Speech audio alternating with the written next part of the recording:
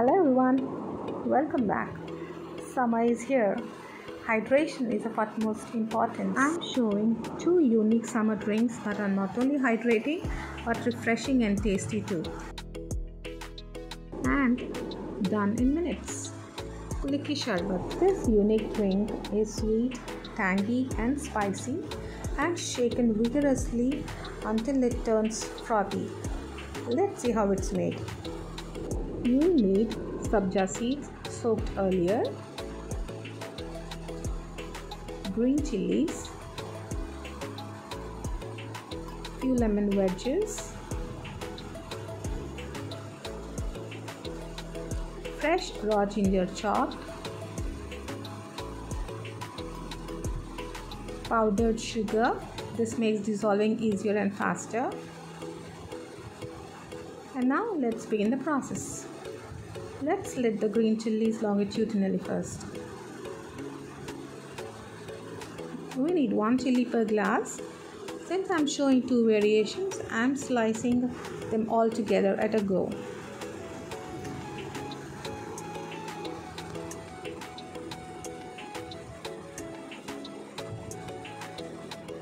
Now take a clean glass, add few lemon wedges, a pinch of salt, powdered sugar, ginger chunks, fresh mint leaves, and the juice of one lemon.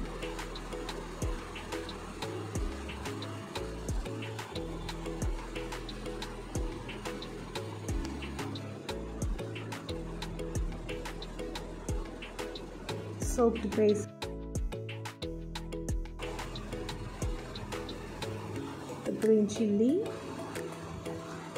few ice cubes and water just below 3 foot mark because we do not want the drink to spill out. Now close it with another glass and flip it over. And now shake it vigorously. At least one minute guys. This is the part where the drink gets its name from. Kulukki means shaking. The more vigorous the shaking, the more flavorful it gets.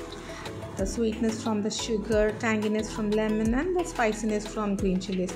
Trust me, guys, you'll definitely love it. Now, once it's done, overturn it. There you are, unique, refreshing drink. Now, let's decorate it.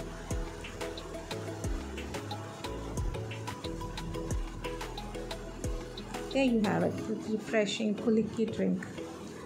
Now moving on to the next one. Mango kulukki sherbet. This variation involves the pulp of a ripe mango shaken with the other ingredients until they are frothy. Unfortunately, my mango turned out to be artificially ripened one, but guys, you can make sure that you use the right mango for this. In a blender and make it into a pulp. Now some lemon wedges, sugar, mint leaves, sabja seeds and the pulp of the mango.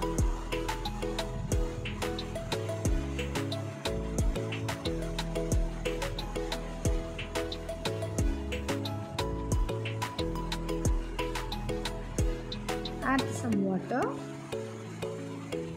and the juice of a lemon.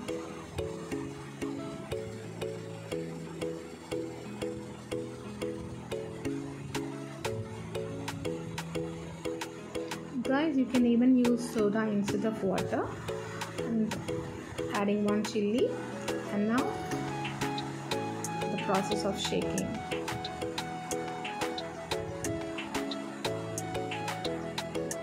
Remember to shake it well, guys. This is where the flavors are extracted. So you need to do the shaking more vigorously.